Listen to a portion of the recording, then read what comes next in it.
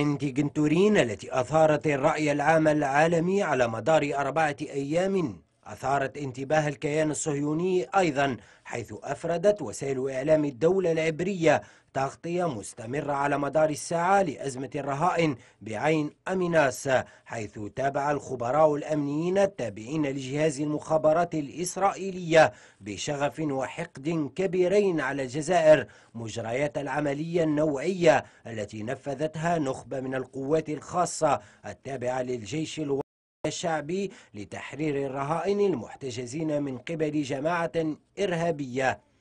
هذا وانتقد خبراء الموساد طريقة إدارة السلطات الجزائرية لمجريات عملية تحرير الرهائن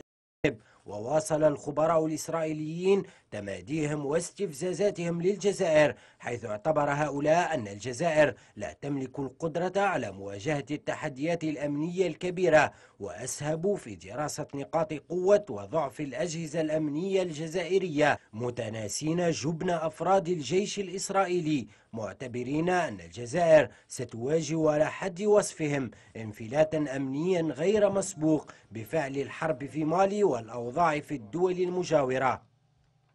هذه التصريحات الإسرائيلية ليست غريبة على الصهاينة الذين يعتبرون الجزائر عدوهم الأول في العالم العربي والإسلامي نظرا لمواقفها الثابتة. تجاه الدولة العبرية كما أنها تثبت أن الوضع الغير مستتب على الشريط الحدودي مع الدول المجاورة. جعل أجهزة الاستخبارات الأجنبية تكثف من نشاطها لكن الجيش الوطني الشعبي سليل جيش التحرير لا ولن ينحني.